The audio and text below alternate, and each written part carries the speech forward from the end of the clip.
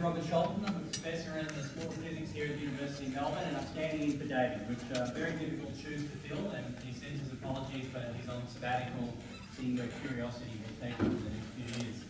Um, very uh, pleased to be able to introduce to you tonight two very interesting characters, one an old friend, Professor Hans Bachor from ANU, Australian National University, Professor of Physics there, and Patrick Elan, who is from Questacon. Uh, Patrick is quite different from the usual people that I introduced. He is uh, perhaps an artist and an actor before uh, a scientist, but he loves science and loves to convey that to you. He's from Questacon, as I said, and he is the coordinator of the Excited Particles Theatre Group there. Uh, so if you're ever in Canberra, please go along and have a look at Excited Particles and see Patrick's work there. Uh, Hans uh, is uh, a very, very uh, well-known and highly regarded physicist, not just in Australia but around the world. Um, he's a member of the Order of Australia from 2012. AEM his name. Uh, he's a, a, fellow of the Australian Academy of Science. Uh, he's won many awards.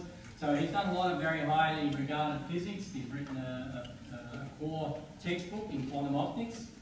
He's been teaching at higher levels universities around the world, and of course has written many scientific papers um, with the team. From my own point of view, I think that I remember Hans most of all as a networker. He likes to put people together, to bring people together, to put all their efforts together into achieving greater things. He's one of the first directors of an ARC Centre of Excellence in Australia, brought a team of people together uh, and helped them achieve great things. And he does that still. He is now uh, officially retired, although I think he still seems to work just as much. in he tries to bring different research ideas together and mentor young people. And as he is tonight, to convey science to a broader uh, population, he, as you will see, clearly loves it and likes to bring you all on board uh, into sharing that love. So without further ado, you came to hear him and not me, so I'll let him start and I look forward to, uh, to talk with all of you. Thank you.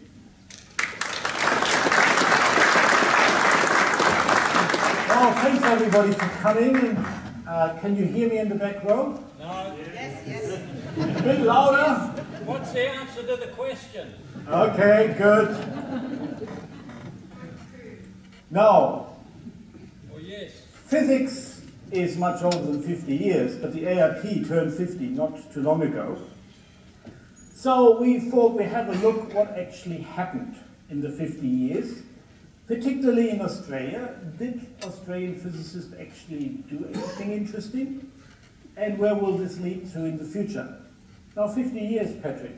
Now, can you hear me? Yeah. And I do apologize here in the front if I'm screaming at you, but I'm, there's only one mic, so I'm going to be loud. Um, the AIP turned 50, and it happened to coincide that I'm turning 50 at about the same time. And one of the things that I've been most disappointed by physics about was the promise of that jetpack that everyone was going to have, and that I was going to live in a city with these little bubbles looking down over these idyllic places, all these, things. Close, but it, the, the bubbles aren't quite there. And I have to say that that's my big question, is I didn't get a jetpack, but we're going to explore and see what we did get in place of that jetpack. And we'll see if by the end of this, if the rest of you who are disappointed by that as well, can maybe be appeased by the things that we have gotten, if that makes sense. All right? I don't think you need a jetpack.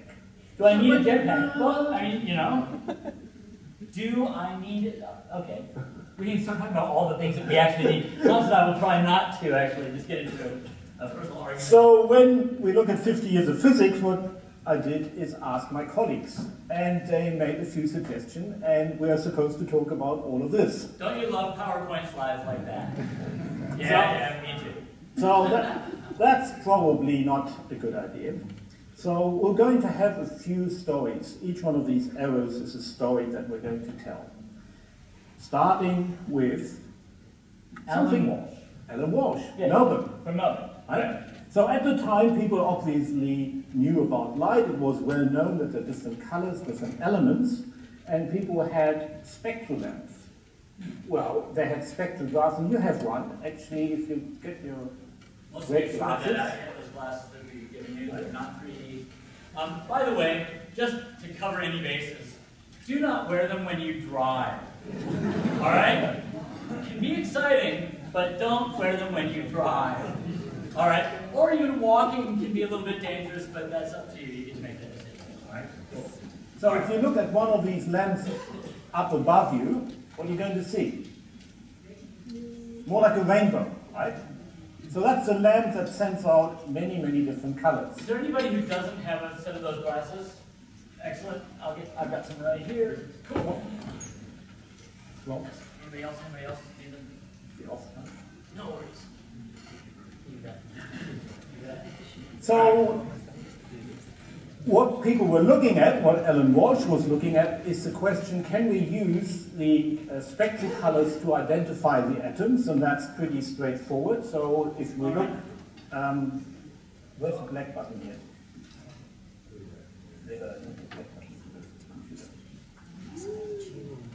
So here, I've got two elements. Actually, better to anybody who can identify them just from the spectrum is fantastic.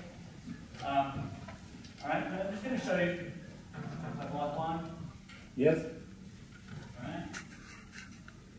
The other. And people way over there, sorry. Move that a little forward. There. That makes it easier. So what are the, uh, the atoms? Right. Anybody out there? This one? Yep. This is mercury. You see the green, you see the yellow? And you see a distinct difference between this one and that one. Right? And this one is argon. Okay? So, all right, that's very pretty. Turn the one off. What? Yeah, turn the one off. Oh, That's the last one we can't.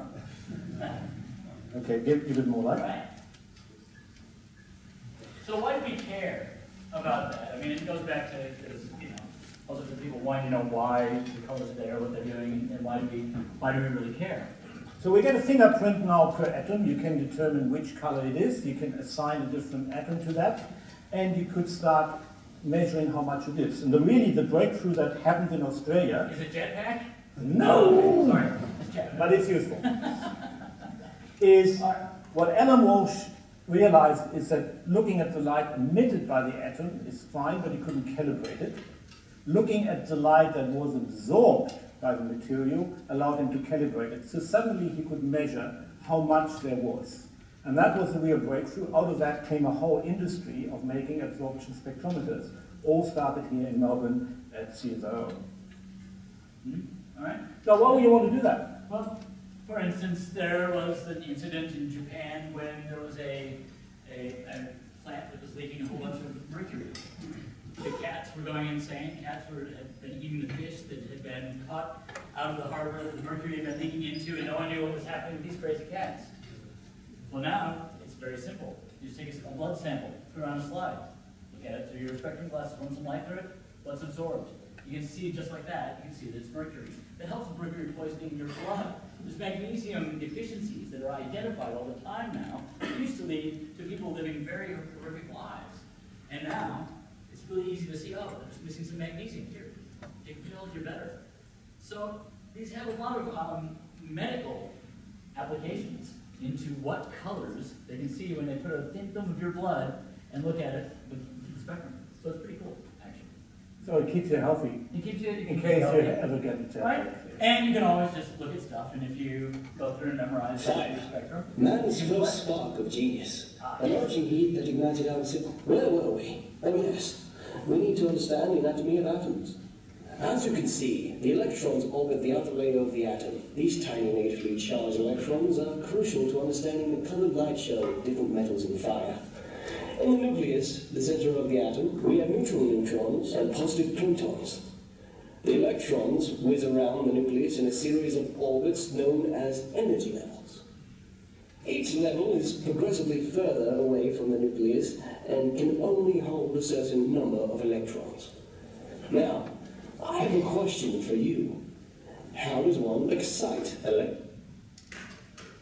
Now, this little movie was made by a school class in Canberra. The AIP runs a competition who has the best video clip explaining some physics. and they won that in 2013. I think they did a terrific job in making the movie, and it keeps on doing and has flames in it. But are you happy with the physics? Is there anybody who Is not happy is with not the happy? physics? Yeah? Tell us about your unhappiness. Um, in order for the electrons to orbit, they have to have this centrifugal acceleration, which means they have to emitting energy. Well, so that there's a Okay, so, so you- more complete. We need a more complete. Yeah, and, the, and if you think about it like a planetary system, like a mechanical system, you run into trouble, like you're running into trouble. So this idea of, of planets around nuclei is sort of nice, but not actually quite uh, what is real. Any other comment? How many electrons can you put into an orbit of quantum number n? n can be one, two, three, four. Yes. How many orbits have quantum number n? Yeah. So we need, we need the rules for that, right? No, you need one. You need the rules to say which n can be how many, so it gets a little bit complicated. Now this is a sort of Rutherford atom. This was very good as an explanation to fill the table of elements. It was useful for that. But if you really want to continue, you need something better. And the better is really coming through the idea that the electrons are not going on these orbits like little planets, rather that you actually look at the probability where they are. So they are, they are most likely there in a shell, but that's not the only place they can be. And they're not going around on a path where you would know at any one time where they are. So quantum physics is moving into the realm where probability is really the big idea. And if we follow that up and say, well, what has Australia? They have made many contributions to this. One of them is from nuclear physics, where you're looking at what happens inside the atom. And here we have an image of an accelerator. That's a large tower, and we have high voltage accelerating it. And here you see the sort of physicists in 1961. Those are our heroes 50 years ago. Now, nowadays, We were pixelated. it looks a little bit different. Um, so people ask these questions, and the theories how very big nuclei, like recently element 117, is actually holding together is exactly that quantum physics. So Australians, and here's Nanda Dasgupta as one example, are making predictions of what you can measure. So they made the predictions, for example, for element 117. It was measured in Germany because they have a different machine that can do this a little bit better. But the collaboration gave us another almost stable atom. So quite significant new ideas coming from Australia in that period. Yes. Now, to go there, let- let's go back a little bit further and, and talk about when we started to look at things that were invisible and seeing things that, that weren't there and starting to explore that invisible ray, you know, the, the X-ray. I love the fact that when I'm in Germany and my mother-in-law broke her leg, that she got sent for a Röntgen.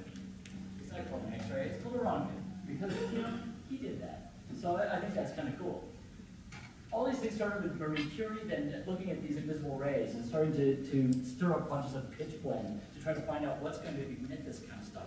And what does that lead us to? Well, a lot of that led to the spectral analysis, that we can look at different elements in our that sort of thing. But it also led a lot to the Braggs, and you may have heard them, and this is the International Year of Crystallography, um, United Nations International Year that is pretty much celebrating what these two guys did. The interesting thing is that my wife actually directly uses X-ray diffraction every single day in her lab, um, which I think is a fantastic thing. I, I take people there and we actually look at it and look at what they were doing. But the interesting thing was, William Henry Bragg was in Adelaide. And he was at the university there, and they had 150 students Total university. right? 150 students.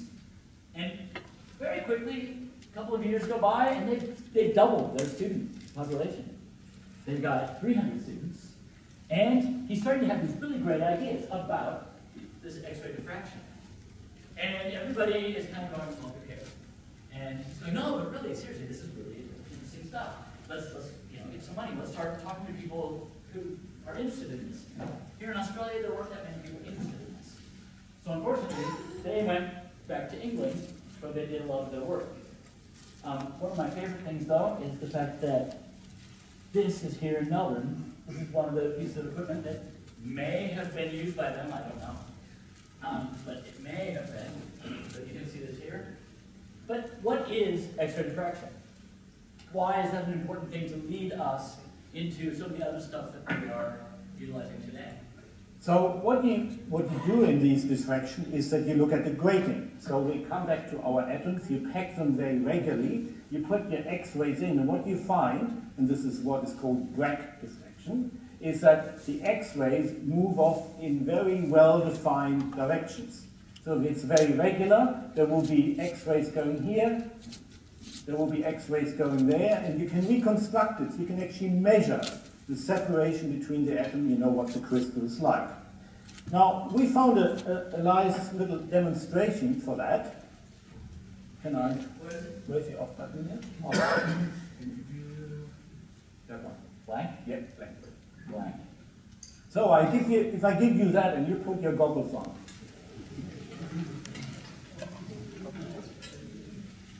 What do you see?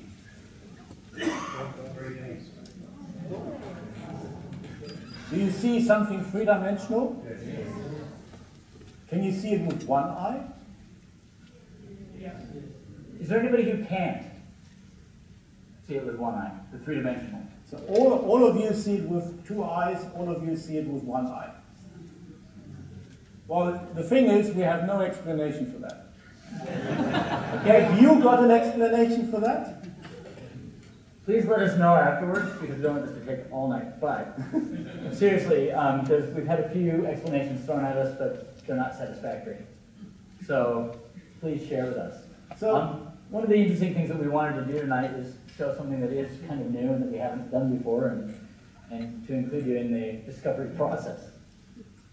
So that's a demonstration what a crystal looks like. And at Bragg's age, and this is 100 years ago, that was a big progress. So we could understand crystals. But it got better. Here we have Peter Colman. He came from Adelaide. Yep. Moved over to the US, returned from there, came to Sydney, worked at CSIRO. Now, at that stage, when he was working in the um, 70s, 80s, computers became powerful enough to be able to reconstruct much more complicated situations than a simple crystal. And so you can actually take something like an influenza virus, that's what you see on the right hand side there.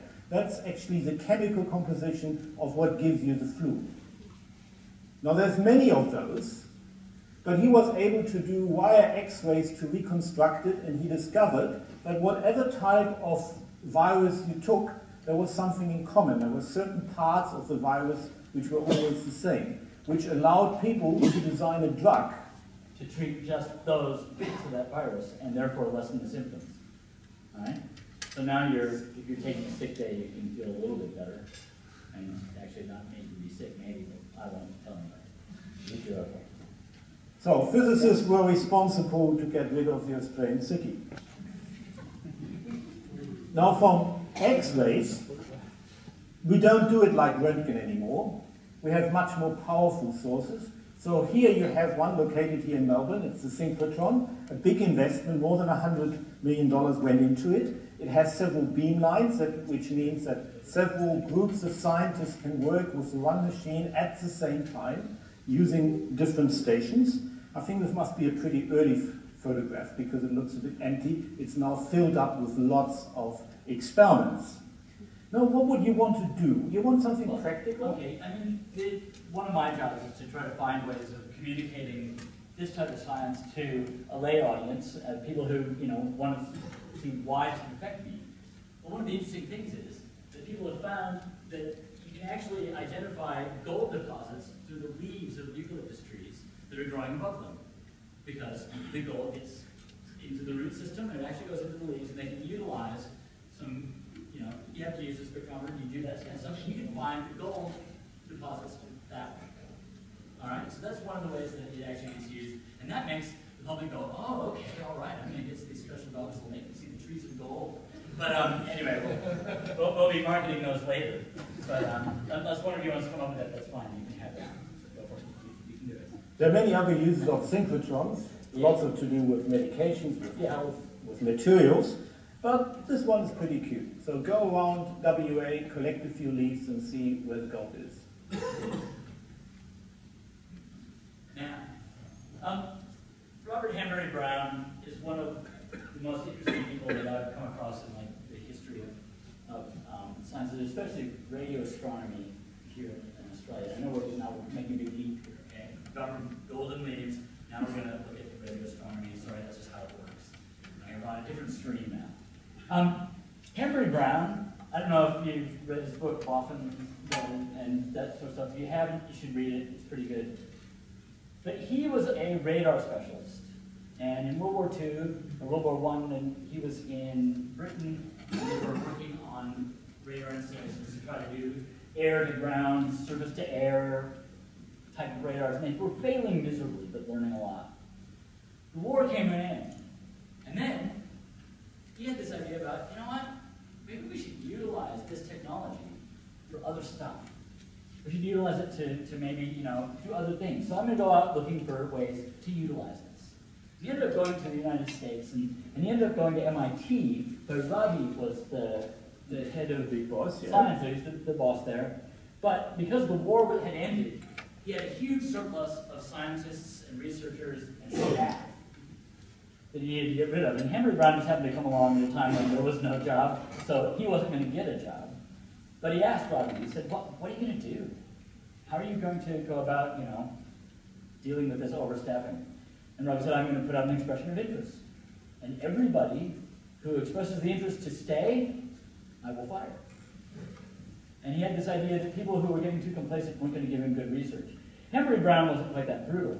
He actually, but he took that on board and he, you know, moved around in his life. He, he always remembered that. So he ended up trying to find funding for radio astronomy in the United States. there wasn't much. Um, there was no money there. And before we saw the Braggs, they actually went, you know, hey everybody, we've got this great stuff, X-ray diffraction, X-ray diffraction. Okay, we'll have to go to Britain to do it. Now it's coming full circle, and Hanbury Brown came here to Australia. Now, astronomy, there's a few reasons to do astronomy in Australia. One, we've got a great view of the sky, galactic central point, all that kind of stuff that goes out of sight in the northern hemisphere. Okay? There's still great astronomy in the northern hemisphere, but here was the spot to be. There was funding, and he came with the notion of staying for two years. He ended up staying for 27, and you know, all, all that, but that's how that kind of works.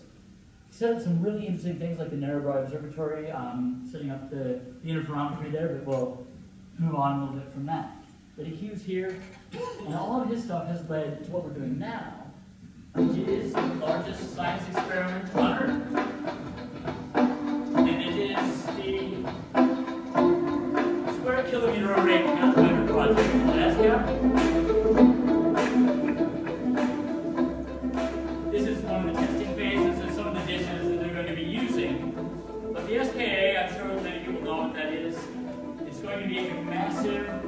Radio telescope at one square kilometer at least of collecting area. That's one million square meters.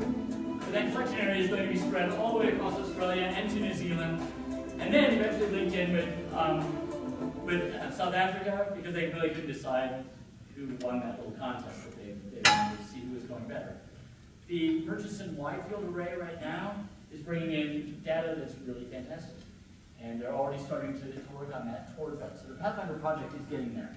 But again, this is the kind of stuff that has started here in Australia. And if you look around the world at, especially in radio astronomy, but all sorts of astronomy um, institutions and telescopes, you'll almost always find Australians there because when, the, when Australians go through a, a radio astronomy course and they start to learn radio astronomy, they actually have to learn the engineering behind it as well.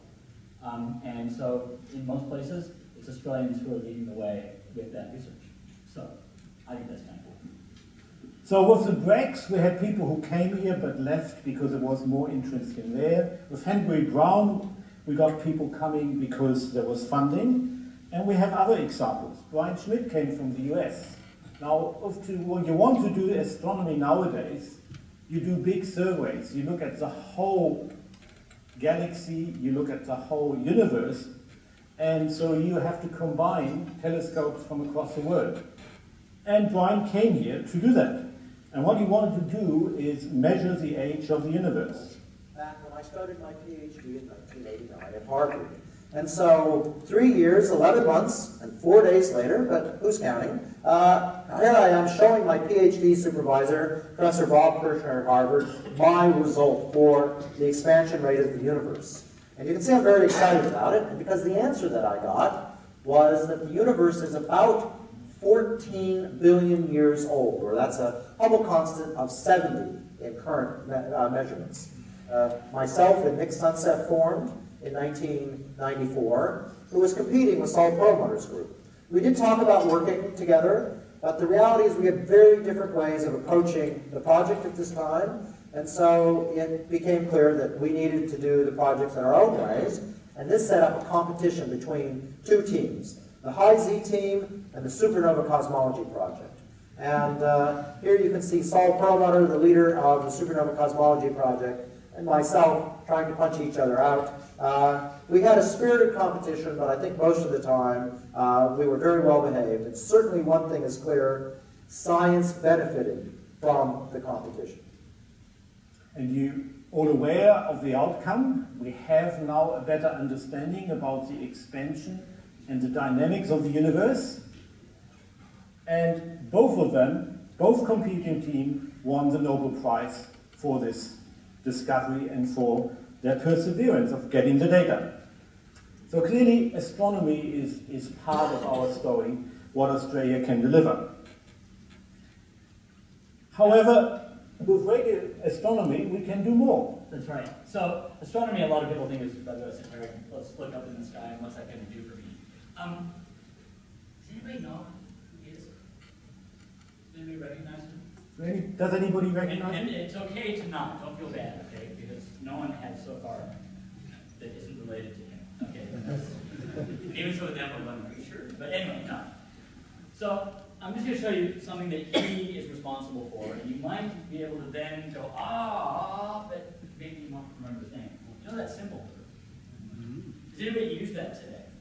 Does anybody use that symbol today? Yeah. Yeah, yeah, yeah, yeah. Yeah. It's taken over the world pretty much. And the beauty of that is that it came out of radio for us to try to be able to distinguish and eliminate noise and eliminate other things out of the signal that we want to look at. And his name is John Sullivan. There it is up there. And he is really, that's really amazing. It's really, it's really cool. Um, I have a little demonstration here that I hope I'll be able to do. Right, Oh, I'll do that first. Now, what did he do? Why did he get famous and why did we earn so much money as a country? Now, this is actually from his patent. And I find it remarkably clear. Some patents are a bit confusing, maybe deliberately confusing, but this one is very clear. Namely, what it shows is that if you wanted to connect two computers, or two gadgets, two tablets or iPhones with each other, and they're in the same room and they're emitting radio waves, you will find that you have many different paths. So you can go directly, you can go indirectly, and you would find very quickly that machine number four gets very confused. It could not distinguish between all of these parts. Now when we do that and think about acoustics, we actually call that an echo. So let's play a little bit with an echo. All right, let's play a little bit of an echo. Let me get my range. Excellent. All right. Okay, you ready? That's my idea. No, it's my idea. That's my. No, no. My idea. Idea. My idea. That's No, my idea. That's my idea. No way, it's mine. That's my idea. My idea. My idea. That's my idea. My idea. My idea. That's my idea. And we can add more. That's my idea. My idea. My idea. And we can add even more. That's my idea. A lot of noise there. My idea. A lot of noise. My idea. My. A lot of. So the device isn't getting the right signal, and you're getting a lot of noise. I'm interested to hear if this is an interesting way of doing this, but So before John O'Sullivan, that's what the other computer basically had. It had all of these signals coming from different parts. So they had to come up with an idea That's of how my to idea. separate. Is it your idea? That's my idea. That's my idea. Okay, That's that's my John's idea. idea. However, there are a lot of people my around the world all saying, That's my my idea. idea. That's my my idea, idea. However, I'll stop playing now. Thanks. Mhm. All right, cool. And So what was just around the corner, if you then look in the patent to the next few pages, that was his idea. It needs an electronic circuit which basically does something called a Fourier analysis. It looks at the frequency of the light of the radio waves. It uh, finds a way of how to play with the frequencies. And at that time in Australia, it was just possible to put this all on a chip. And Australia was actually very far ahead, thanks to the radio physics and the radio astronomy, to make a little chip that could analyze all the frequencies, could shift the frequency in your communication, and filter out only the direct path and get rid of all the echoes. That, in a nutshell, is what the invention is. Now, there was a lot of argument about it. CSIRO persevered. They actually took them to court, and one of the rare things happened Australia won and it brought in about $200 million per year for quite a few numbers of years to have this patent. And they took on every computer company one by one. HP, UK. Once they had them, they went to the next one. Dell, etc., etc. So, one of the positive stories, and that's why we call him a hero. That's right, and it, it is, it has multiple implications, and there's so many people who don't realize that. So I think it's good. All right. Now, radio waves are fine, but if you really want to be fast, if you want to get the big data rate, you have to go optical. And optical means you're going to use a laser beam. No, this much difference. All right. Oh, we've got a laser beam for you here. You better put on your goggles, Patrick. I'm safe behind the laser. And if I take my watch off, I'll see what it says. Thanks. You think it's dark enough? Should I make it darker? Make it darker. If you can find your way back here. Yes, I'll, no, I'm really. All right. I'm tell me if I can't see. Yep, about there. Yep, go. That's fine. Well, what we want to show you is that the laser beam goes in a straight line. Do You believe us? It was very difficult to find this old-fashioned chalk. But Melbourne Uni still has chalk. and that's good. Sorry, I overdid it. So this is about the straightest line you can have. It's actually the definition of a straight line. It's our coordinate system. Light follows the coordinate system. Now, how could you bend light? Give us some ideas how to bend it. A mirror, yes, we could put a mirror in and you could send it around.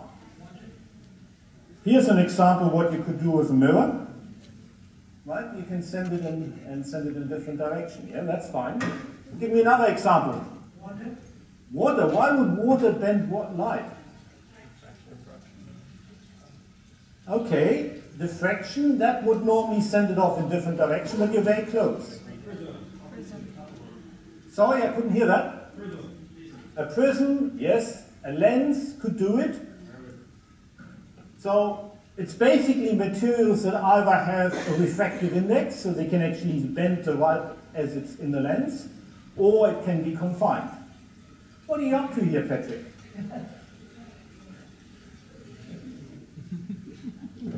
Uh-huh, okay. So, I take my laser beam. Is it still going straight? Yeah, it goes pretty much. So let's fill it with water here.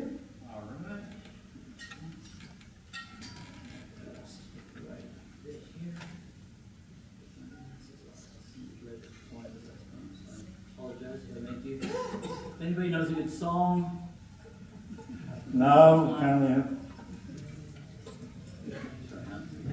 That's all right, go a bit more. That's fine. So what we have is the same laser, same apparatus, we just put some water in between.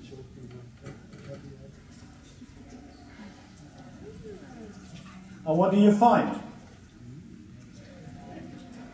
The light gets stuck inside the laser. Why is that? The light gets stuck in the water stream? Yeah. Yeah?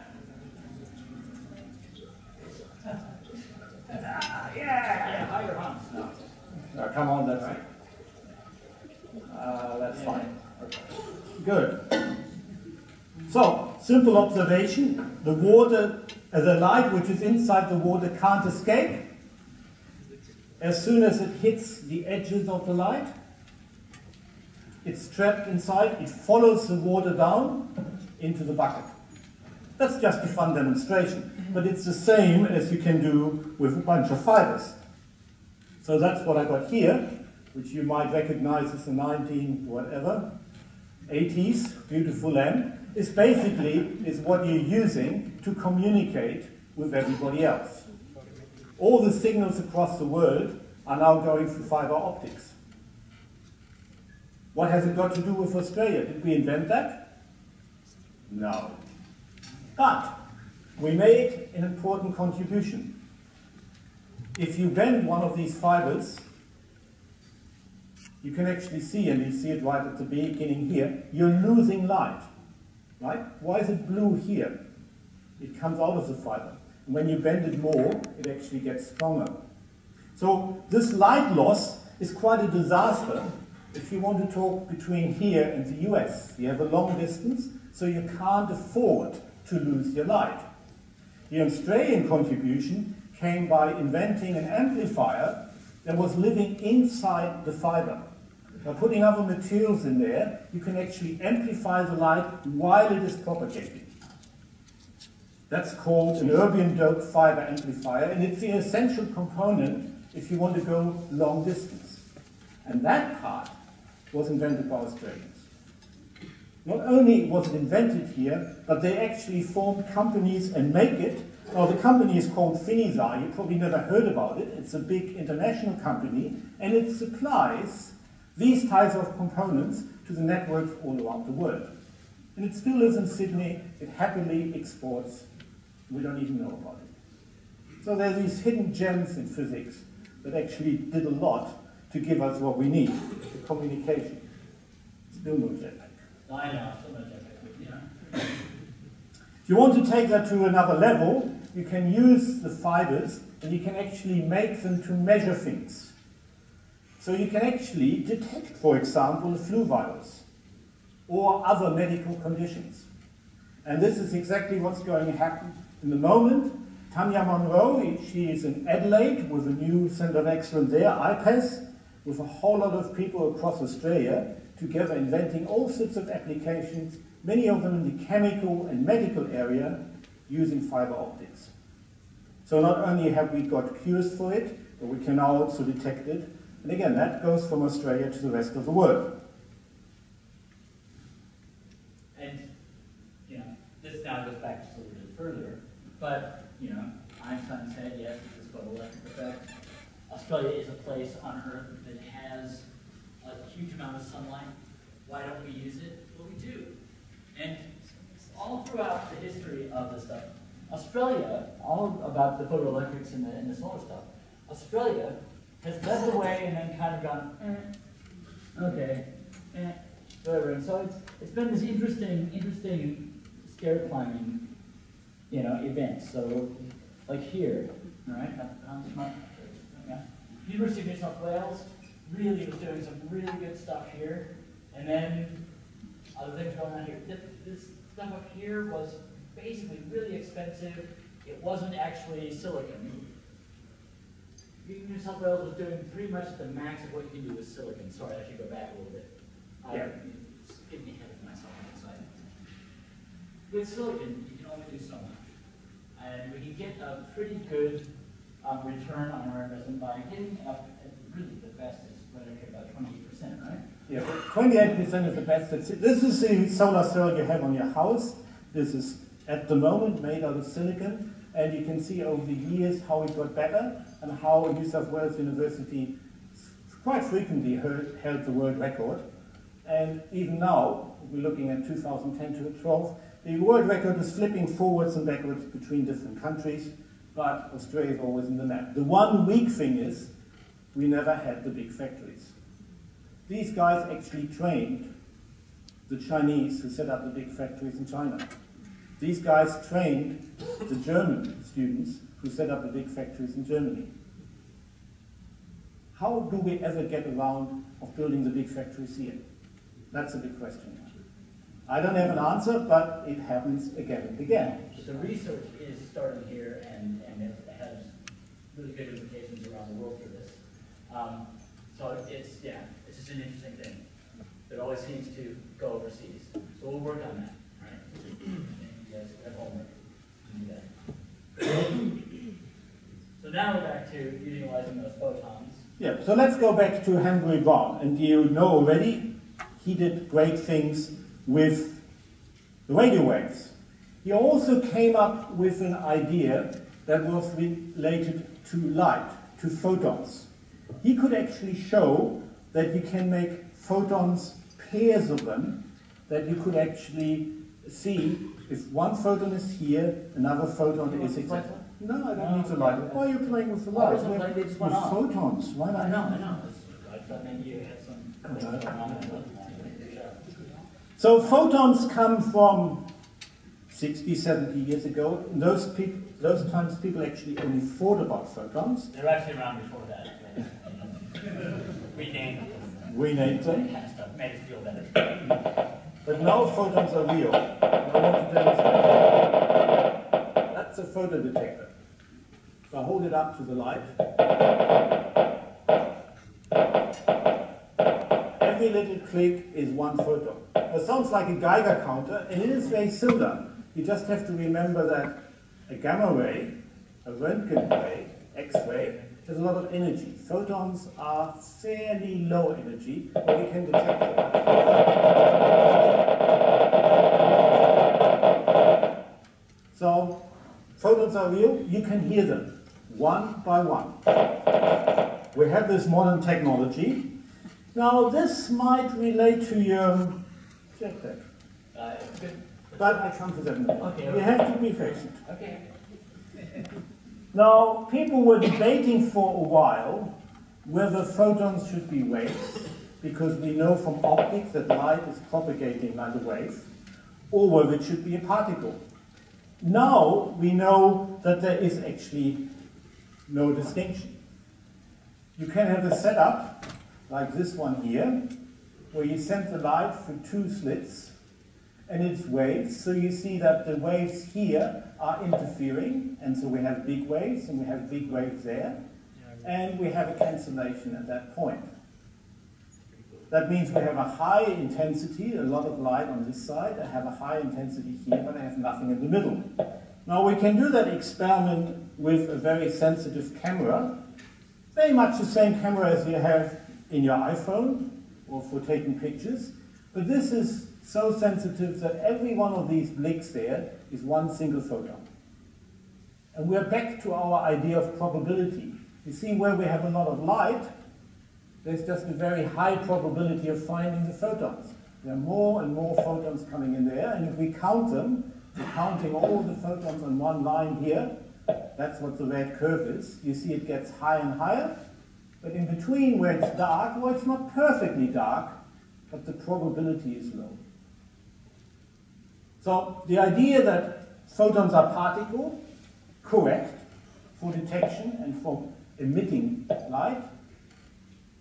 Light propagating as a wave, also correct. As long as we use the probability concept, there is no contradiction. So, instead of a jetpack, why don't we use this invention of the 80s? Okay, well, why don't we? Teleportation. Wouldn't that be better than a jetpack? You have seen this in the movies, right? You might remember this, Captain Kirk always teleporting others around. What's wrong with that? Does anybody believe in teleportation? Yes, you believe in it? Well, up to 1990, the physicists clearly said it can't be done.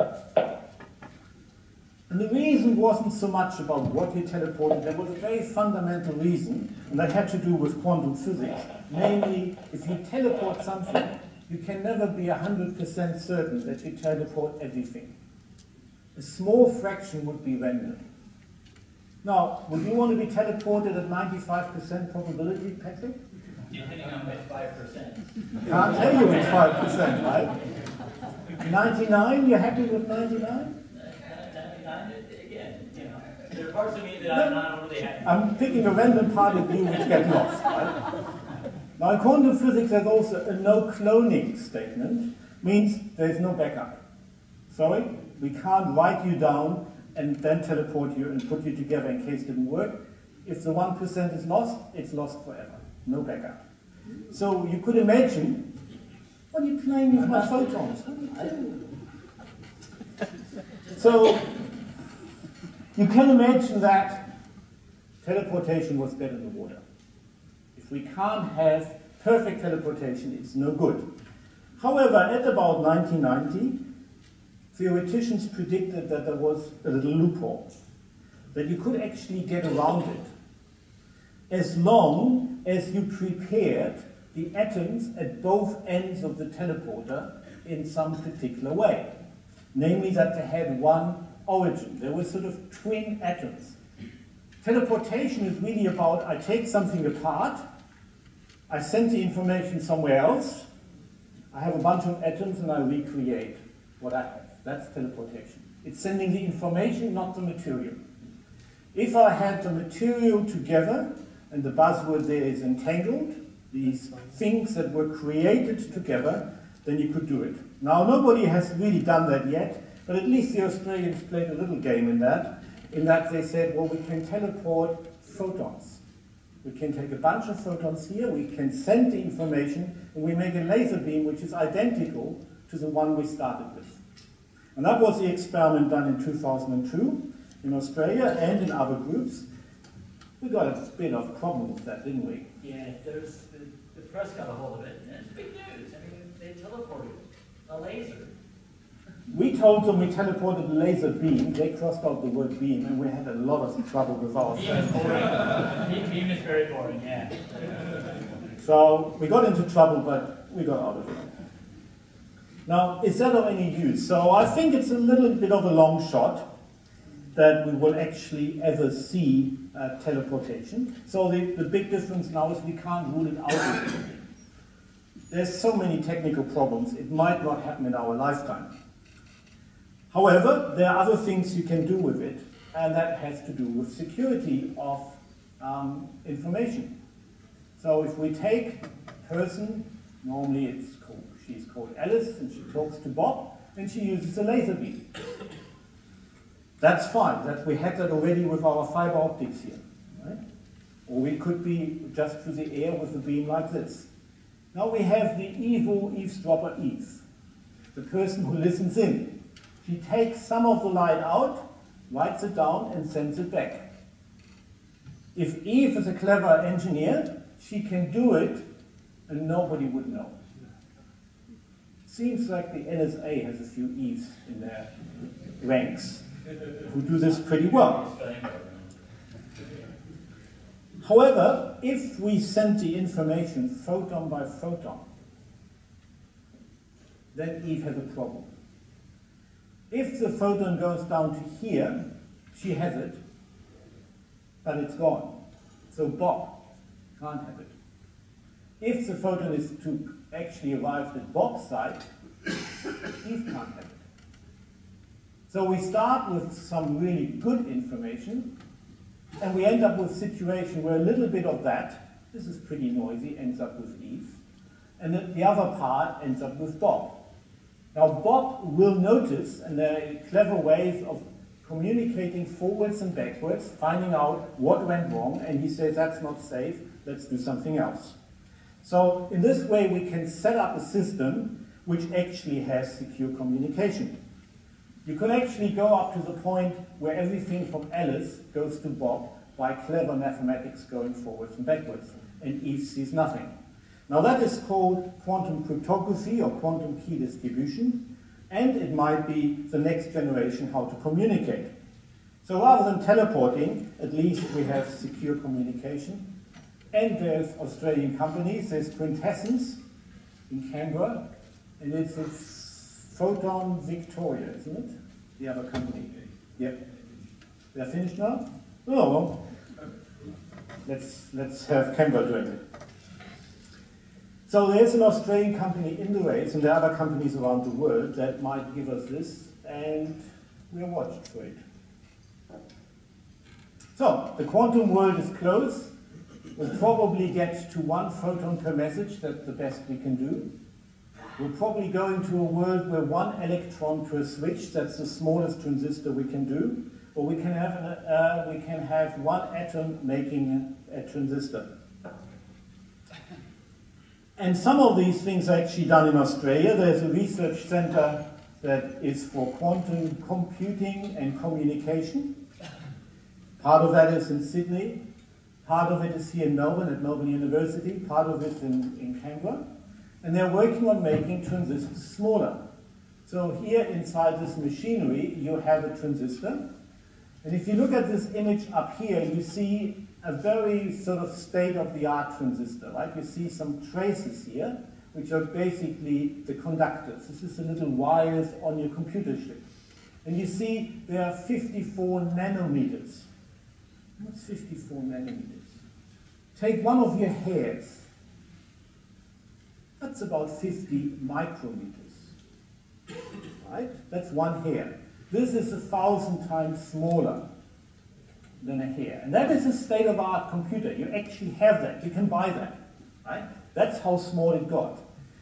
What the, our colleagues in Sydney did is if you home into this picture and just look at the middle, you get that picture.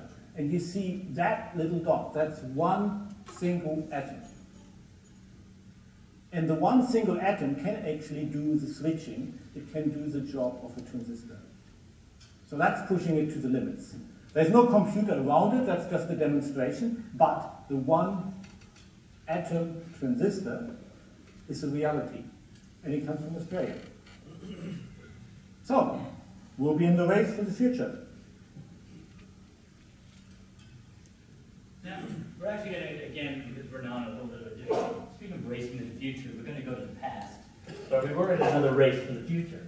And it was rather unfortunate that it was at the time that it was, and that the people that were involved were in Australia and having to rely on the actual post system to be able to send their, their academic papers to be reviewed, get them back, send them, and go through that process. So what Patrick is talking about is the idea of a superconductor. So while Patrick is preparing an experiment to show you what a superconductor can do, this is a material, you normally have to make a code, where you don't lose any of the electricity. It doesn't get warm, it conducts forever, it makes the perfect cable, it makes the perfect magnet. Now people had seen that effect, they couldn't explain it. And the theoreticians at the time were thinking, how can I explain a superconductor? Now there was a group of theoretical physicists at the University of Sydney, Schafroth, Blatt and Butler, who came up with an idea that essentially we're talking here about pairs of electrons. A little bit like these photons that I entangle. They were talking about electrons in the superconductor. But as Patrick already said, communication in those days wasn't very good. So they wrote the paper, they sent off their idea, they also talked to some other people on the way, they traveled in the world. It took a total of 18 months between sending off the paper and actually in being published. In the meantime, an American team, Bardeen and Cooper, published the same idea. We can speculate how they got to know about it. Was it just a slow mail? Was it a type of communication? But because we didn't have any fiber optics in those days, Australia missed out on being the place that explains the superconductor and the Nobel Prize that went with it. So we learned from that. We now have the fibers. We send our papers, and we get them published quicker. And so I'm just, while we're talking about this, sorry, it took me a little bit longer, Hans, but Yep. right now we have a very high temperature superconductor. Um, a ceramic material named yttrium barium copper oxide. That's what's inside the alfoil. the alfoil is going to protect it from absorbing too much moisture from the air. Um, this will, at the temperature of liquid nitrogen, actually superconduct and, and cause this magnet to levitate and is trapped by, if you want to talk about that later, please come down and talk to me. But, this is close to my jetpack, isn't it? Yes. My, my hoverboard, it's close. You could have your hoverboard. You get your you get your liquid nitrogen on your backpack. You get your superconductor. The way it probably would look like is like this. This is actually a train which is floating on a cushion of magnets on superconductors. So, Oh, yeah. to show it a little bit differently. So there you go. So think of ways that we can actually use this. This is pretty exciting, but you know, how's this going to help? Oh, Well, switch me Let me over. switch you over. That's what it's going to look Computer like. is back on, I hope. Yes. So that's probably going to be closer to your jetpack. This is a train, this particular example comes from Japan. We have them in uh, China now. The Germans made one, but they were never game enough to actually build one for whatever reason. They sold it to the Chinese. These things go at pretty high speed, five, six, seven hundred kilometers, so you have aircraft speed, and you might have to share your transport with others. Sorry, no individual No transport. No. Now, another way of going about it is obviously flying. You remember that, Patrick? I do, actually. Where were we when the moon was the first moon landing? Well, I was actually sitting on my parents' so carpet right in front of the television, pretty much glued to the screen. And um, yeah, it was pretty cool. Actually, the 45th anniversary of that was just last week on Monday. So happy anniversary of Apollo 11 and that. So in the last 50 years, we went to the moon, and you probably have seen. One Yes. of the other interesting things is that you saw the, the, the first step by Neil Armstrong, and you've seen the movie The Dish. Have anybody seen the dish? Yes. There's, there's only one slight little thing that upsets a few of the guys in Canberra, um, and that is the Honeysuckle Creek. I call them the Honeysuckle Creek gang, and they were the guys who actually did send that very first image. They sent the first bit and got Neil Armstrong's first step on the moon, and actually from the ACT at Honeysuckle Creek. But that didn't make for good film or whatever, so it got kind of cut off. So the guys were a little bit sensitive at times uh, about that. But those that are left, they meet every year. They always watch it at the exact moment. They argue with whose watch is actually correct time. These are all engineers. It's a very interesting time to, to, to watch them, you know, find this out. But anyway, so that's another thing that Australia, because of the time of day when Neil Armstrong got to the moon, the Americans really wanted it to come straight from an American, you know, receiver, a tele, um, um, radio. However, Neil Armstrong said, I'm not waiting eight hours. I'm on the moon. I'm, I'm, I, no, I'm out of here. And so that's why Australia got to send that. So that's pretty cool. Anyway, sorry, I digress. No, I think the, the dish version was actually better than honeysuckle. Oh, yeah, yeah. I'm going to tell John. But anyhow, so we started with rockets. As you know, the first um, moon landing that was basically on, on big V rockets. But later on, there was a time, and this is now in the past, when they used the shuttle. Now, sending the shuttle up is actually quite exciting, but it's not the hardest part. Bringing a shuttle down is the hard part. If you look at that shuttle here, But Hans, it was so easy because we had computers. yeah, The computer simulation to be able to do everything and show that it would come down perfectly. It would you land- believe you believe that? It, would- computers would not lie to you, would they, Hans? Well, I can tell you, these things fall off occasionally, that's fine, but when the first shuttle actually went up, they had a very brave test pilot on there, and he knew the controls, but nobody had ever flown a shuttle. And when he brought it back, he just brought it back. It was right at the margin, it was actually beyond the point he should have used his controls.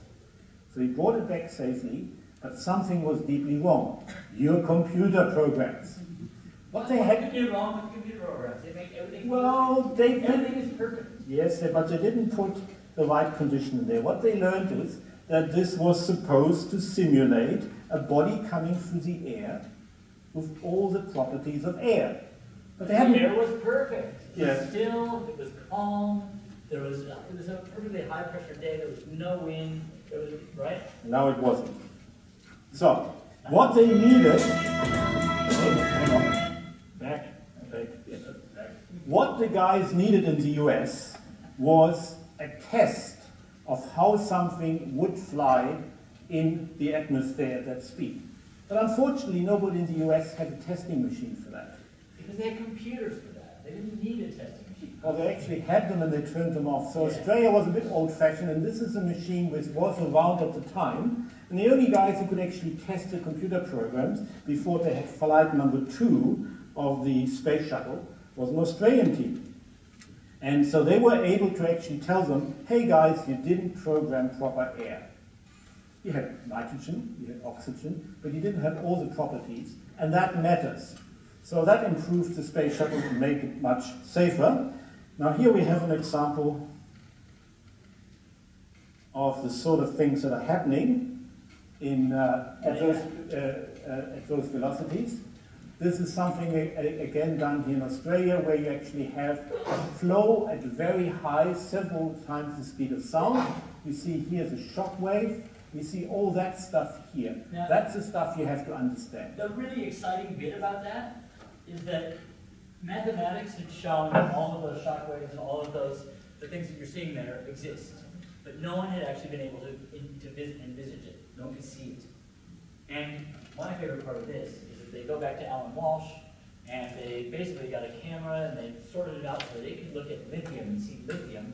And then they blasted the lithium through here so that they could get that image. And it's the first time anybody had actually seen those interference patterns and those, those, um, the shock waves. And that was in, uh, at ADFA, I believe.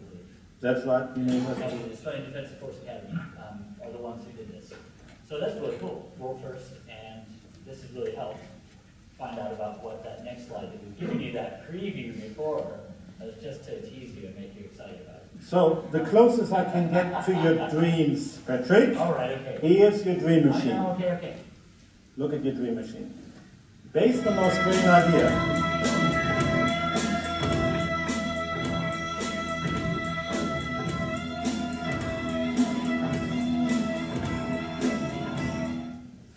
what this is is a scramjet. It's an idea of an engine for a supersonic flying machine without moving parts. Just Sounds the to be true. just the geometry, gas coming in, the thing flies at supersonic speed. Now, that's the closest we can offer to you, but it doesn't exist. But I noticed, I was just gonna say, that's a drawing, that wasn't actually it. So, I think, Patrick, you have to be satisfied with good communication, safe communication, understanding the atoms, no jetpack. So here is some of the heroes. We didn't, we are not out of time, we can't tell you more stories, but believe me, there's lots of things that Australia has contributed. So these are the people responsible for me not having a jetpack. Yes. Um, one of my favorite things about science, and, and the more I, the more I actually look at it, the more that I learn from my perspective, which is very different from Hans and that, is there's Max Planck. You've heard of him probably. Max Planck. He was told when he was younger, alive, but younger, that he was a good pianist. All right, so they said, you know, play the piano. You're really good at that. And physics, we know everything. So don't worry about that. All right? So I, I, I love that. Then, then we, we got knowing more because of Max Planck. We went, well, actually, we don't know this and we don't know that. We know more. And then we get to this point where we think we know what the universe is. And Einstein is telling us that uh, we've got to, and Einstein said it, so it must be true, that the universe is expanding at this nice rate. It's either it's going to slow down and it's either going to stop or maybe come back in on itself. And it's going to be this really beautiful mathematical equation, and therefore it's beautiful, it shall be. But then you get Brian Schmidt, who gets, you know, he's a uni student. He's going, Einstein's wrong. Now, who are you going to believe? You know, the, the uni student or Einstein here? Well, the uni student. And now, my favorite bit of that is he showed us that we actually know less than we ever thought we knew before. So we know more, but we actually know less. And that's a really interesting place to be. So students ask me and say, you know, yeah, but, you know, Australia, what are we going to do? There's amazing stuff that has been done. And there is so much still to be done. Everything there has unanswered questions. Everything there will lead to something else. And everything there is going to end up being solved by not people my age. You know, yes, I want a jetpack, okay, I'll have to not, not have one. I can have one, but it's probably too dangerous anyway. Um, but looking towards the future, we've got mobile phones that can, you know, simulate almost everything we can do. We can talk to each other. We've got Wi-Fi. We've got all these things that make our lives easier. Will they get harder now? I don't know. But there's all those questions that are still to be answered. They're going to be answered by some of you. You know, Hans still has some answers left. I think that there's, you know, that are going to happen, and, and so are all the children here that are going to be the future scientists. So on that, here's to 50 more years. I don't know. My child, because she's going to be five this year, she may have the life expectancy to be able to live to 120 and maybe regret that. I don't know. You know, we, we don't know what's going to happen. But what is going to happen is going to be exciting. So thank you very much for coming tonight. Thanks for not doing and throwing rotten fruit. We appreciate that. And um, Hans, anything before we go? No, I think it's uh, something to be proud of, and it will just get better. Thanks for your time.